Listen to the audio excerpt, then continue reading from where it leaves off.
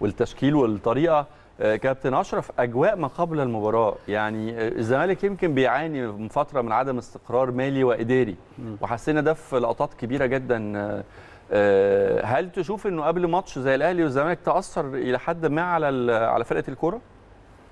وعلى العكس والنقيض الأهلي يمكن بيع... بي يعني بيس... بيتمتع بحالة استقرار إداري و... و... ومالي كبيرة جدا. فبتشوف تأثير الحاجات دي أجواء اللي بره الملعب بره الكورة.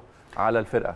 هو الطبيعي في في العالم كله يعني. الاستقرار الإداري آه، بيدي استقرار على المستوى الفني والنتائج في كل الفرق في العالم. الاستقرار الإداري والمالي بالتأكيد آه، بيعمل حالة استقرار مميزة جدا للأجهزة الفنية واللاعبين. ما بقاش في مشاكل مالية اللاعبين بتركز والأجهزة الفنية بتركز بس في الملعب وفي الأداء وفي النتائج الموجودة.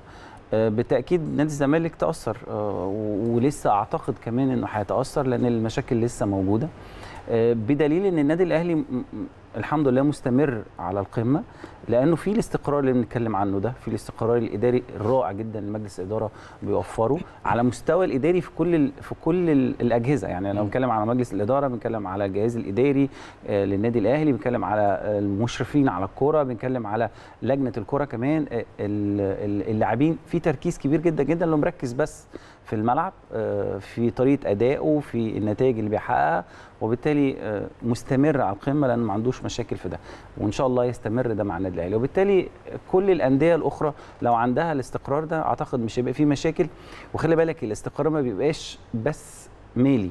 لأن في أندية في الدوري لا داعي لذكر الأسماء عندها الإمكانيات مالي. المادية ولكن آه، اداريا مش ال- النظام اللي بنتكلم عنه أو السيستم الموجود داخل النادي الأهلي اللي فيه احترافية بشكل كبير جدا مش لازم ده مع ده لازم ده أيوة. يكمل ده والجمهور والجمهور بالتأكيد طبعاً. هي منظومة متكاملة طبعاً. يعني طبعاً. بالتاكيد هي منظومة متكاملة تابعنا يمكن قبل